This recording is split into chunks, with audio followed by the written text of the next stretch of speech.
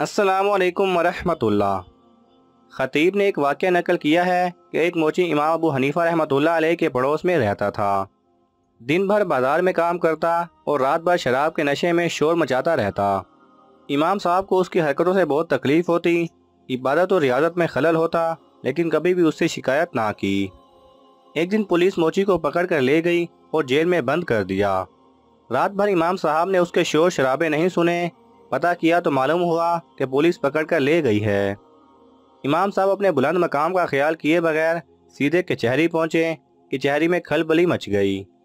हाकिम जो आपका शागिर था, खुद भागा हुआ बाहर आया और दरियाफ्त किया कि, हज़रत, यहाँ कदम रंजा फरमाने की क्या वजह है? फरमाया कि, मेरे मोहल्ले का मोची, जो मेरा पड़ोसी भी है, पुलिस वालों ने उसे गिरफ़्तार करके जेल भेज दिया है। उसे मेरी जमानत पर रिहा कर दिया जाए चुनाचे उसे जेल से रिहा कर दिया गया। मोची जब जेल से बाहर आया तो देखा गया कि इमाम साहब उसका हाथ पकड़े हुए फरमा रहे हैं। क्यों भाई? मैंने तुम्हें ज़ाया होने तो नहीं दिया। इस पर मोची सर झुकाए कह रहा था, नहीं मेरे सरदार, मेरे आका, आज के दिन से आप मुझे ऐसी हरकतों में मुबतला ना पाएँगे, जिनसे आपको अजियत होती थी।